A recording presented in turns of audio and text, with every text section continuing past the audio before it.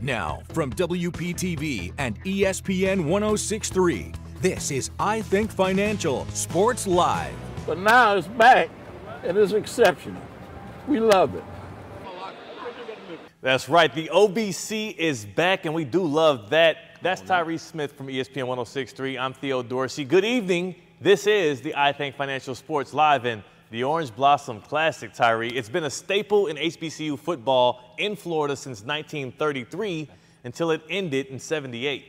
That until last year when the second incarnation of the college football showdown returned to the Hard Rock Stadium with Jackson State and FAMU. That's right, Tyree. Then they ran it back again this afternoon, and though it ended in a Jackson State blowout win, and it, it was a crazy blowout win, the real story is the way that it brings families from South Florida and fans all together to watch some HBCU football.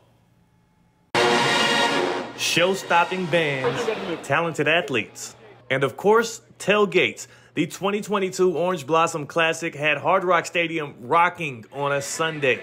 And for the Studstill family, this tailgate was symbolic of generational ties. We all have a love of football.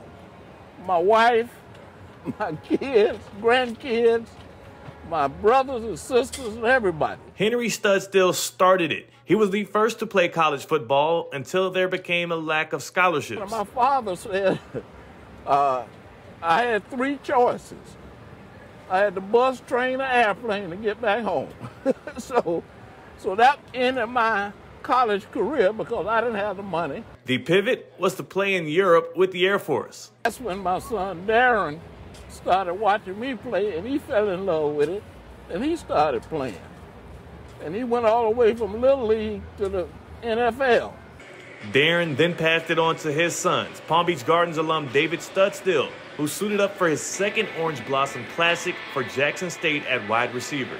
He came in um, as a walk-on, unrecruited, and to know that he's dressing out every, every day, it, it just shows to not only the David to young kids that hard work plays off. And Devin Studstill, Gardens and Notre Dame football alum who cheered on his little bro from the stands. This is something that you can carry for the rest of your life, you know. So we we're very excited for him. Each generation of Studstills grew up attending the Orange Blossom Classic.